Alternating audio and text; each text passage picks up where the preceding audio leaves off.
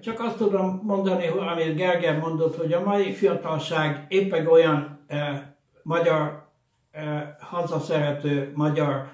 fiatal, mint mi voltunk 56-ban. Eh, akkor olyan volt az élet, amit már nem tudtunk elviselni, és muszáj volt eh, fellázadni, és muszáj volt valamit, valamit tenni, és eh, mi fiatalok mind úgy éreztük, és eh, nem néztük, és gondoltuk, hogy mik a következmények, csak arra gondoltunk, hogy mit kell cselekedni abba, abba a, a pillanatban. Tulajdonképpen, ha Isten őriz, Isten őriz még egyszer, hogy olyan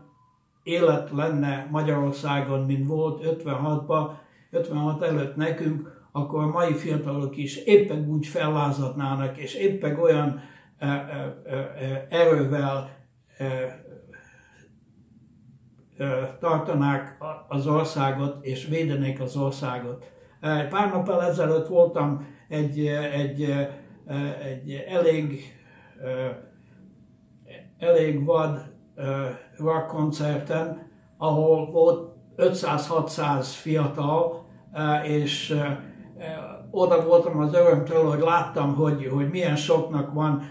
1956, meg magyar otthon, meg magyar hazám, és szeretem a hazámat, és piros-fehér-zöld pólója, és örültem látni, hogy, hogy a mai magyar fiatalok is éppen olyan hazaszeretők, mint mi voltunk.